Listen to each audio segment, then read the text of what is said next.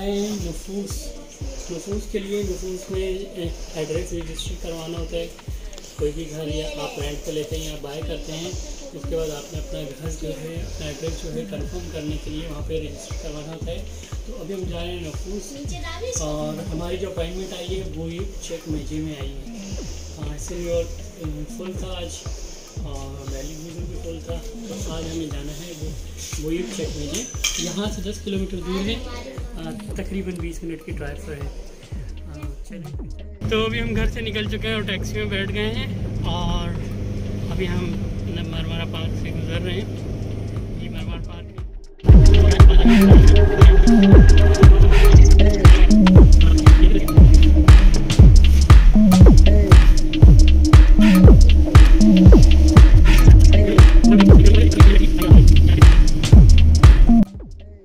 Total ये पंद्रह से बीस मिनट का रास्ता था, लेकिन पूरे रास्ते की मैं वीडियो तो मैंने बना ली थी, लेकिन अगर मैं अपलोड करता तो वीडियो बहुत लंबी हो जाती। इस वजह से मैंने कुछ क्लिप्स ज़रूर इसमें ऐड कर दिए, क्योंकि मौसम जो था बहुत ही प्यारा था जिसका मेरा जो कि मेरा बिल्कुल भी दिल नहीं कर रहा था कि मैं ये वीडियो ये ये रास्ते की वीडियो इसमें ऐड ना करूँ। एनीवेज आप भी देखें और इन्जॉय करें।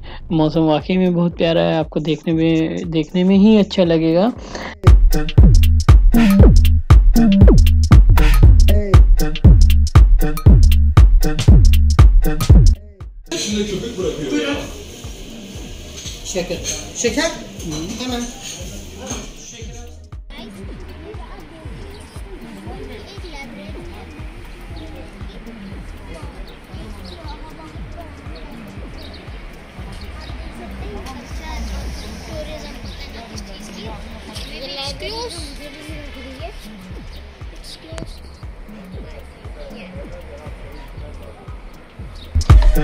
तो इस लाइब्रेरी की बात तो चले, हम बाद में करेंगे, लेकिन यहाँ आने के बाद हमें पता चला कि हमारा जो डिस्ट्रिक्ट है, उनकी यहाँ पर रजिस्ट्रेशन नहीं हो सकती। बेशक हमें यहाँ की अपॉइंटमेंट मिली हो और हमें वापस अपने ही डिस्ट्रिक्ट जाना होगा।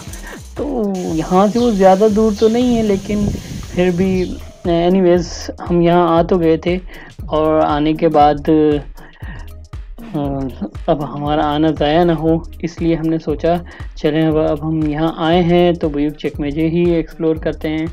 तो उसके बाद, हमने डिसाइड किया बाय वॉक जितना हम एक्सप्लोर कर सकते हैं, वो करते हैं। जब हमने यहाँ से गूगल मैप पे चेक किया तो करीबी काफ़ी अच्छी जगहें थी जो कि हम एक्सप्लोर कर सकते थे। ज़्यादा दूर कल्चरल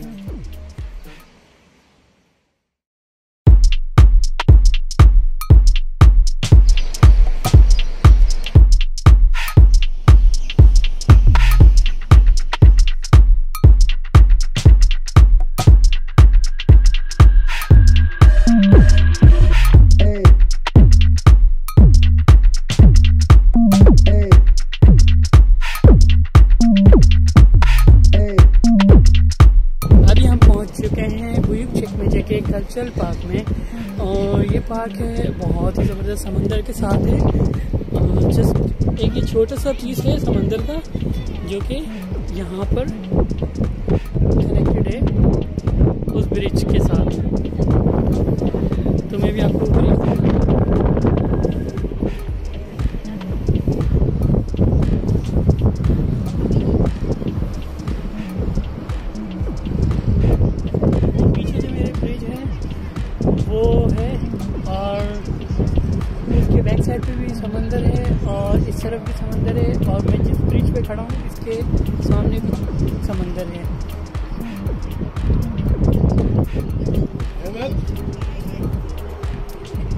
बोर्ड्स वाली साइड चलते हैं अभी।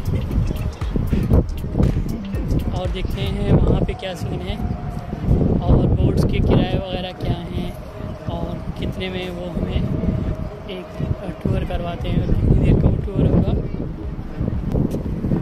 लेट्स मूव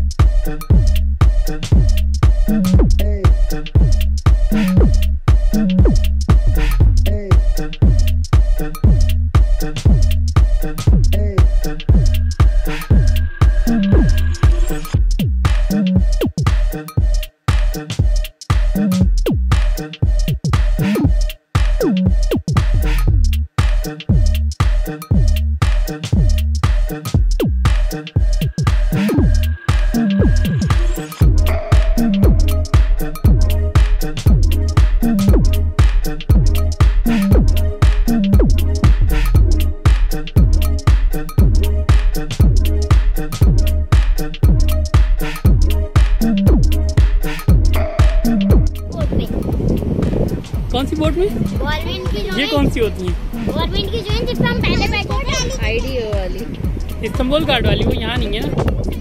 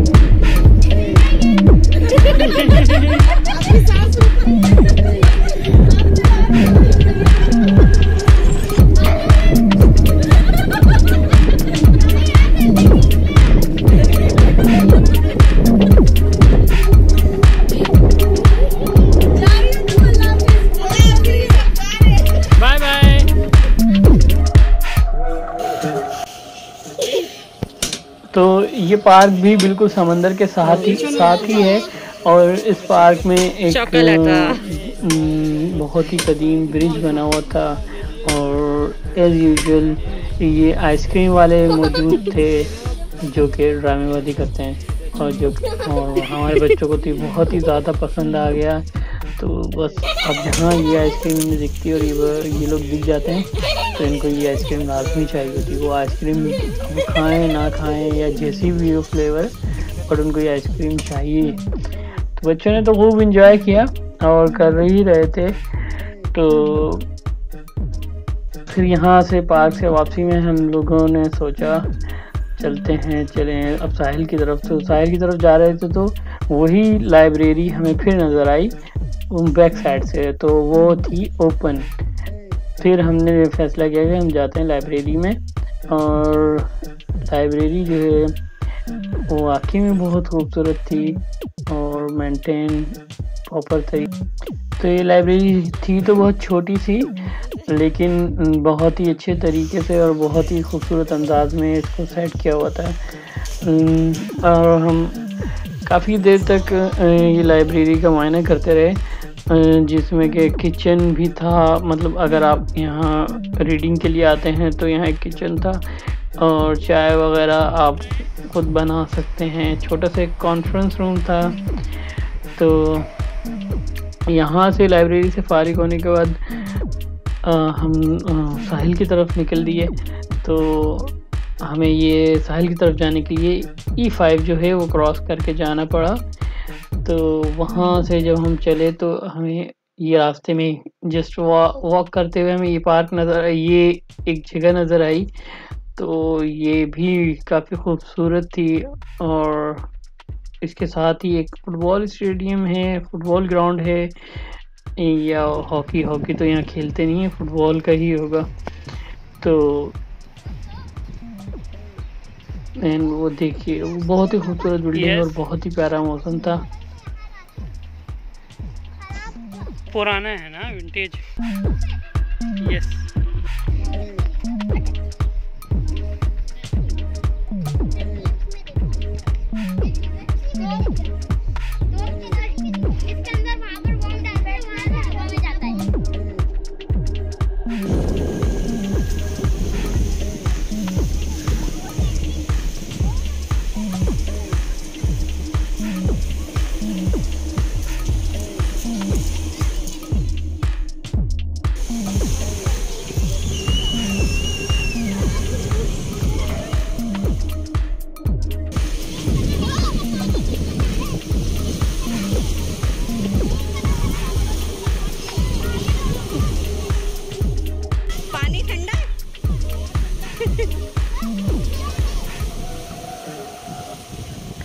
बच्चों ने यहाँ बहुत इंजॉय किया और यहाँ की मुझे सबसे अच्छी बात जो लगी, ये छोटा सा एक साहिल था बट यहाँ पर भी लाइफ गार्ड मौजूद थे, वो भी तीन चार और उनकी एक जेट स्की भी थी फॉर एमरजेंसी तो पूरे दिन की इस सारी थकान के बाद मेरा तो भूख से बहुत बुरा हाल था, लेकिन क्या करें, बच्चे तो फिर बच्चे हैं. एनीवेज इसके बाद हम फारिग होकर काफ़ी सारे हमने रेस्टोरेंट देखे और आखिरकार मैंने फिर ये रेस्टोरेंट चूज़ किया क्योंकि इस रेस्टोरेंट में था सबसे स्पेशल खाना। यानी कि मुझे जो पसंद है नॉर्मली खाना, क्योंकि इनके खाने तो खा खा के हम तंग आ गए थे तो ये था जनाब अली, कीमा पराठा और आलू पराठा। जिस पे भी स्पेशली मतलब मैंने बोला इस पे ऑयल डबल लगा दीजिएगा, मेहरबानी फरमा कर क्योंकि ये लोग तो बगैर ऑयल के खा लेते हैं। तो कीमे वाला जो है, एक ये मेरा पराठा रेडी हो गया और ये आलू का पराठा रेडी हो रहा है। और कीमे का पराठा जो है, बहुत ही मज़े का था। बहुत ही टेस्टी जो कि मैंने फिर मैंने ऑर्डर की इसके साथ दही। क्योंकि बिल्कुल रूखा तो हम कुछ भी नहीं खाते पाकिस्तानी। माशाल्लाह काफ़ी मज़ा आया आ, हमें ये एक पाकिस्तानी फैमिली भी वहाँ पर मिली और इन लोगों ने हमारे साथ ही कंटिन्यू हमारे साथ ही थे तो खूब इन्जॉय किया। इन लोगों ने भी और हमने भी। और अगर हम अकेले होते थे, हो सकता है शायद हम वापस चले जाते, लेकिन, और ये लोग भी अपने घर वापस चले जाते, लेकिन इनके मिलने के सबब हमने ये पूरा टूर प्लान किया। खाने में तमाम चीज़ें बिल्कुल फ्रेश थी, ताज़ा थी, और बच्चों ने भी बहुत इंजॉय किया खाने को। और तो यहाँ आके बहुत ही अच्छा फील हुआ। मैं बिल्कुल रिकमेंड करूँगा अगर आप इस्तंबुल आते हैं और मुनासिब कीमतों में अच्छा खाना और अच्छी जगह घूमना चाहते हैं तो इस तरफ़ का रुख ज़रूर करें ना कि सिर्फ़ तकसीम और सुल्तान अहमद वारी साइड आप घूमते रहें। तो ये साइड भी बहुत खूबसूरत थी।